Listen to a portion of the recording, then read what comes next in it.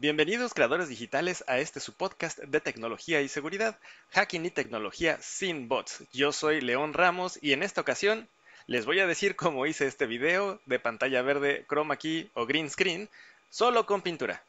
Primero que nada, esto es una solución permanente y no puede quitarse. Ubica tus muebles como te funcionen de ahora en adelante. Monta la webcam en su lugar y marca en la pared con masking lo que alcanzas a ver y un cachito más, por si les flies.